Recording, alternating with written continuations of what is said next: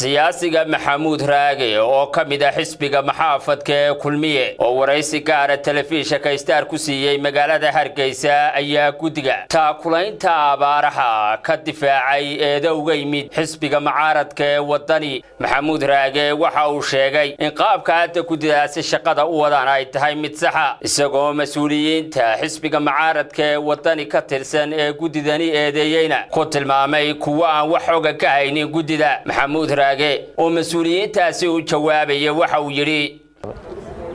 Waxaad ogtihiin ummad muslimiina baynu nahay rasuulka sal allahu alayh wasalam mustafa maxamed sal allahu alayh wasalam wuxuu ahaa qaatimu alambiyaa rasuulkii u dambeeyey ee adduunye bini aadmi loo soo diro. Ambiyo kale inoo soo degi mayso halkiisii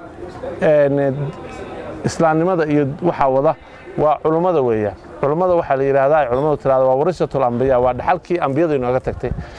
Dowladdu waxay aad iyo aad u adeegsatay oo ka howlgelisay dhammaan bulshada qaybaheeda kala duwan. Ama ganacsato ha noqoto ama culummo ha noqoto ama siyaasiyiin ha noqoto. Weli waxaan mar walba ay dowladdu isku dayday inay xisbiga xisbiyada mucaaradka ahna ay howlgeliso. Xisbiga ucud gurmadka ama kii hore ha noqday ama kan dambe ha noqday si weyn ba uga qayb qaatay howlgalka qarankan ay waxay wada leeyihiin ay ka shaqaynayaan ayaan darro waxaa ah in afhayeenka xisbiga waddani uu mar kastaba iyo aareeyo xildhibaan aareeyo ninka la yidhaahdo iyo ay ku mashquulaan shaqada dowladdu waddo iyagoo dhaleecaynaya culummada ama le hanti dhowr baa gelinayna ama caynkaa waxaan aaminsanahay qarankii wuu hadlay dadkoodii iyo tabaalaysnaa ee abaaraha ka soo doogay lacag baa loo ururiyey qorshaa loo dejiyey dadkii jeebkoodii bay fureen dowladdoodii bay aamineen culimmadoodii bay aamineen xisbiyadii mucaaradkana waa ku jiraan. Labadii xisbi wakiillaha ka fadhiya si collectif ah ayaynu waxaynu adduunyadii tusnay inaynu nahay qaran wax qabsan kara qaran wada shaqayn kara qaran isagoo mucaarad iyo muxaafid iyo dowladda wada shaqayn kara. Bal raggale isbeddel baanu samaynaynaa wada shaqaynta ay ka mid yihiinoo asxaabtoodii iyo wakiilla iyagu ka fadhiyaan. Culimmadoodu ay fadhido madaxweynahoodu fadhiyo ganacsatadoodu fadhiso jambar kumarshiyaalkii ay ku jiraan. Cidiba aanay ka maqnayn. Quruxdaa raggii u soo dhigay maanta mahadnaq bay madnaayeen kuwa wax la baxa waxaan leenahay ilaahay subxaana wa tacaala cuud khayr qaba ha idinku bedela jeebkiina waxaa ka soo bixiseen. Kuwa ammaanada loo dhiibay waxaan leenahay ilaahay ha idinku ammaanada oo xifdiya ammaanadu waa shay adage dardaaran bay naga mudan yihiin innaga waxaan wuxuu mid hadlaya aaraya wuxuu lahaa xildhibaankaa wadaniya ba dadka doonaya isbeddel dalka loo dhiibo. Dadku madaxweynaha istusayeen sadaqa lamay baxaynin subxaan allah ummaddii ilaahay darteed wuxuu la baxaysay ee ilaahay darteed u gurmanaysay ayuu leeyahy waxba lamay baxaynin madaxweynaha istusayeen shacabka somalilan idinkaa idin weydiinayaa kuwaasi kuwo isbeddel keeni kara ma yihiin qarankan wax ma ku soo kordhin karaan.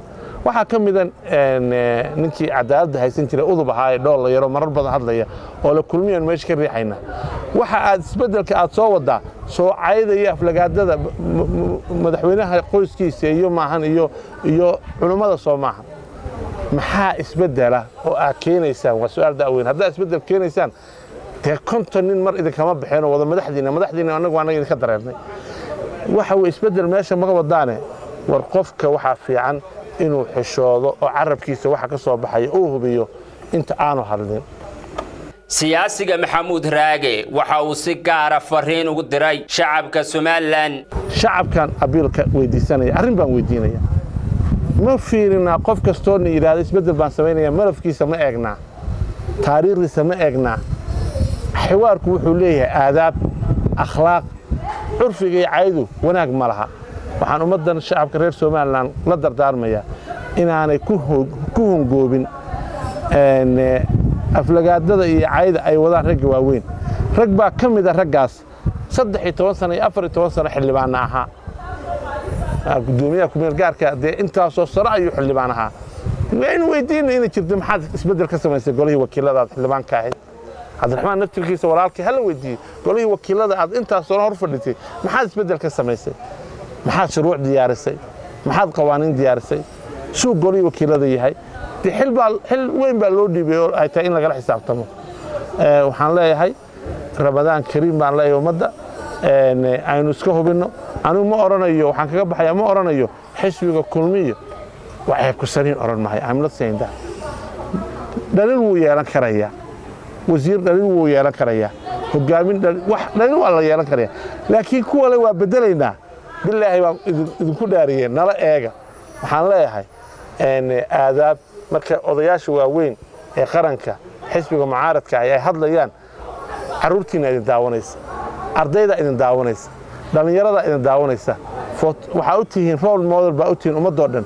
Kelmado wanaagsanoo xeshood laho asluub laho eedaab laho akhlaaq laho tarbiya laho ha laydinkaga daydee koosaar maxamuud telefishinka star hargeysa